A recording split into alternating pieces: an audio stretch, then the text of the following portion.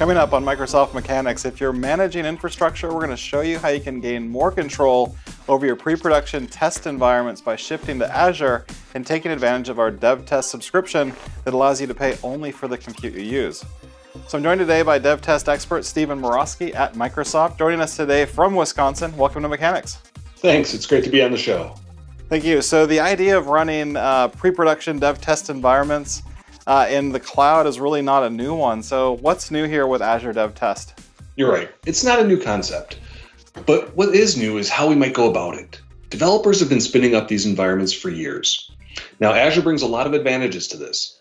It's an open platform, so it supports a lot of choices for the tools and frameworks that they might be using. Right, and sometimes if you're a developer, it's easier to set these environments up yourself versus going to the IT department and asking them for this infrastructure stood up for you. Yeah, but you do need to make sure that we're not making trade offs in compliance and security of that infrastructure. Now, we can have the best of both worlds, where our devs can spin up what they need while they're staying within IT's guardrails when we bring our existing dev test environments into Azure. Or you can build your own dev test environments with the right governance from scratch. In fact, we've got a number of purpose built services and dedicated offers to help keep costs down. Now, to be clear, within Azure, you can establish global governance over your subscription using things like Azure Policy or Azure Blueprints, and that will help you govern things like maybe the size of your VMs or databases or other compute that you use for dev test. Exactly.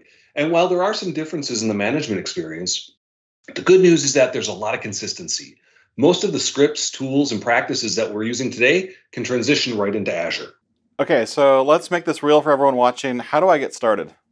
So the first thing that we do is we need to spin up a dev test subscription. This is the pay as you go option for the dev test offer, but there's an equivalent in the enterprise portal. Creating the subscriptions is easy as clicking activate, then adding our payment information and accepting the license agreement. That starts the sign up process and flags to Microsoft that we're not going to be using this for production workloads. In most cases, we then won't have to pay for licensing, just compute, and we won't have to use our Azure Hybrid benefits. After a bit of background processing, we'll end up in the portal with our subscription available. From here, we can spin up multiple dev test environments on this one subscription. And we also have a calculator that can help you assess the cost of spinning up a dev test environment for your organization, and you can find that at aka.ms slash Azure Dev Test Pricing. All right, so now you can use this to bring your dev test environment into Azure or spin up new environments, but why don't we start with the options for bringing your existing VMs or your existing infrastructure into Azure? All right. There are two scenarios here.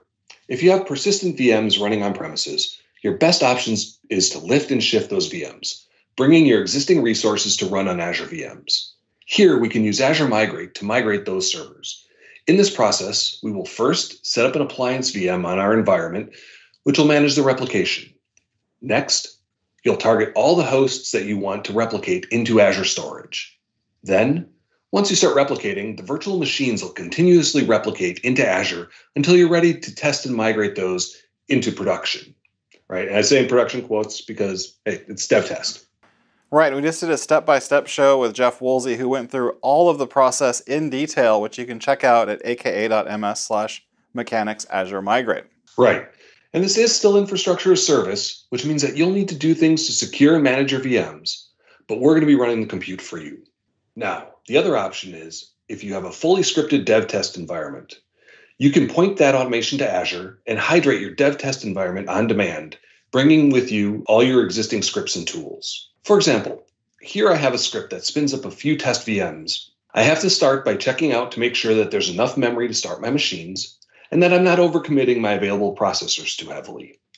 I've got a simple loop that sets up the VHDX files, sets a few details about the VMs, and creates them. Then I can apply PowerShell desired state configuration configurations to those VMs in background jobs and wait for those jobs to finish before the script exits. Now, to do something similar in Azure, I run a helper function to ensure that things like the resource group are there, but I don't have to go check capacity now. Then, just like the Hyper-V variant, I provide some VM details and ask the platform to create them. And then I can tell it to apply my PowerShell DSC configuration to those machines, which is going to take a few moments. At the end, we'll see those jobs are completed. As you can see, the experience between those is pretty close, and I'm reusing all my existing PowerShell experience. As I mentioned, Azure's open and supports a variety of tooling. If you're provisioning with Terraform, a change in provider can get you spinning up in Azure environments with minimal changes. Right. So now I know a lot of people watching are probably setting up a dev test environment or trying to set these things up locally, and it hasn't always been an option in certain cases because there might be things in the way like costs or resources or even the time it takes to set one of these up. But what's the best way to set one of these up from scratch? The easiest way is going to be using the DevTest Lab service. This is a free service, and just to be clear, this isn't Azure Lab Services for classroom management. This gives us a templated approach to creating self-service dev test environments with all the right guardrails to meet our environmental needs. So for example, in my subscription, I have a few dev test lab instances. Each one has its own RBAC controls, cost thresholds, and configuration. Let's take a look around and click on one of the instances, Tailwind Traders Labs.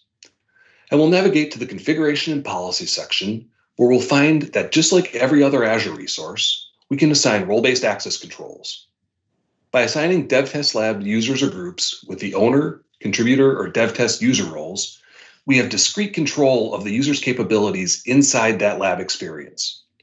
I'm adding a guest user account as a user for my lab. Let's save that role assignment. Now, opening up self-service can be scary, especially to anyone with their eye on the budget. With that in mind, let's click into cost trend. This is where we have a closer view of the DevTest Labs cost. We can click on Manage Target to define a cost target with thresholds where we can enable automation and notification. With webhook support, it's easy to tie in Azure Functions or Logic apps for added flexibility. This means we have lots of options and are well prepared to make best use of our Azure expenditures. Now, something else to keep in mind is that all the resources that are deployed, they're just Azure resources in our subscription. So they do fall under any Azure policies that we have assigned. So now we've got the controls and the cost management in place, but what are we providing then for our developers? The developers get self-service machine and environment creation. Now let's take a look at how that works. We start with a base image. There are lots of images uh, to choose from on the Azure Marketplace, or we can use our own custom images. The locations to pull images from and which images are offered is fully under your control. So we're going to pick a Server 2016 image, and then we'll configure the username and password and VM size. Then we can add some artifacts. Those are packaged bits of software or configuration that can be applied to the machine. For this example, we'll add IIS to the machine. We'll click Add, and then click OK. Back on the Create Lab resource page, we'll click Create, and the machine will begin to provision. Now, these combinations can be created at provisioning time, or we can create a formula which provides a, a, base image and any customizations you'd like to as a starting point. We are not limited to just single machine environments. Labs can consist of multiple machines and services, and the required configuration and connections to represent any application environment. We'll try that with one of my custom environments here. These are using behind the scenes Azure Resource Manager templates, following a practice known as infrastructure as code. There are some defined out of the box, like a SharePoint farm, or we can use someone else's, from GitHub or Azure repos, which we'd set up in the lab configuration. Yeah, and that's a great service really to take advantage of. Now, the other option, if you're doing user acceptance testing maybe on your endpoints or if you have to emulate what you have in your on-prem environment with domain joined desktops, you can use Windows Virtual Desktop. So what I want to do is actually show you how this is going to work in the context of user acceptance testing.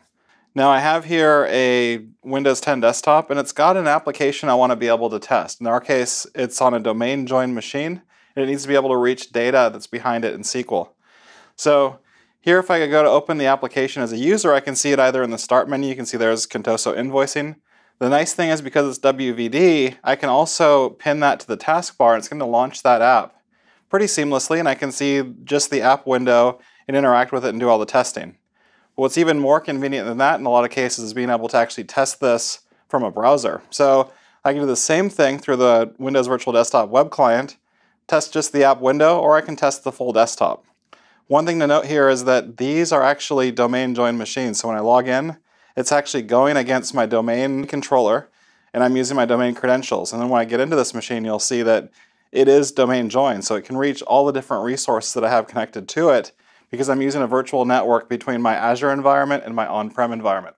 And if you want to migrate your existing VDI environment into Azure, we just published a detailed step-by-step overview at aka.ms slash mechanics Azure Migrate. So now we've covered your options, whether you want to bring existing dev test environments into Azure or create new ones. But Steven, what other tips would you give people who are just getting started with Azure Dev DevTest and what tools and resources would you point them to? First, use those DevTest subscriptions. Azure has some of the most comprehensive purpose-built services for DevTest, and you can find out more at aka.ms slash Azure Dev Test Pricing. And then try out Dev Test Labs for yourself at aka.ms slash Azure Dev Test Labs. Thanks so much, Steven, for joining us today. These are all great ways to get started with Dev Test in Azure. By the way, if you haven't already subscribed yet to Microsoft Mechanics, please do that and keep joining us for the latest tech updates across Microsoft. That's all the time we have for this show. Thanks for watching. We'll see you next time.